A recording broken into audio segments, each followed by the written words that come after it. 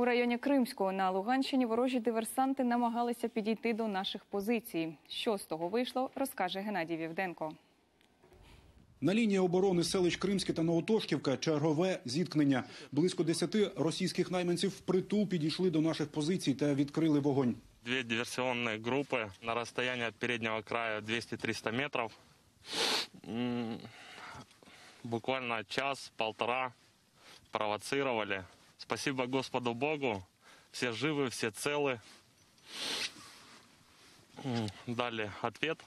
Ворог намагається довідатися про слабкі місця на з'єднанні українських підрозділів, але безуспішно. Мы находимся в горячем цехе, скажем так, Луганской области. Э, И ночью это каждый день.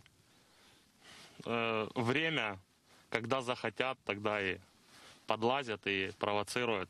У наших окопах припускають ворогідне зростання агресії з того боку, адже період свят закінчився. Періодично напружено. Періодично. Я гадаю, що почнуться інтенсивні обстріли. Стрілецької більш буде більш, більш, більший калібр. Буде, буде нас плотніше обстрілювати.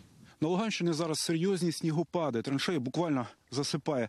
Бійцям, окрім несення військової служби бойової, доводиться ще й чистити свої окопи. Снігопади час від часу змінюються лютими морозами, при тому, що бойові дії ведуться у степовій зоні. Холодно було. Позавчора було 20 градусів морозу.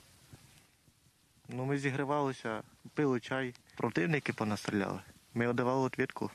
Снігопади ускладнили і комунікації між військами. Легковому транспорту допомагають усі разом.